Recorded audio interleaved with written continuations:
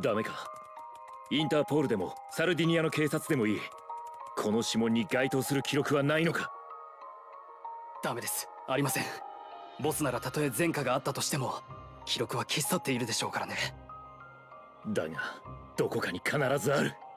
あるからこそボスは娘の存在を消し去ろうとし素顔を知られるのを恐れた。死亡した者の記録はどうでしょう？ボスは自分のことを死んだことにしたかもしれない。やってみよう。許してはいけないわ。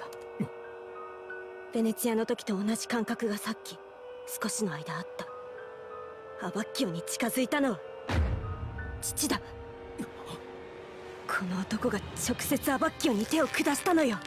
ボスがここに来ているというのかトリッシュ。ええ。今はどこかわからないけど近くにいればブチャルテ今はダメだ。ボスの正体を確実につかみ暗殺するのでなければ俺たちは負ける。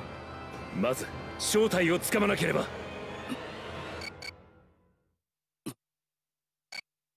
該当者なし。ダメか。やはりボスは抜け目ない。これ以上追跡はできない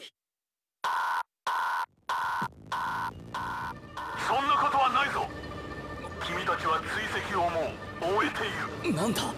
あとは倒す方法を見つけるだけだ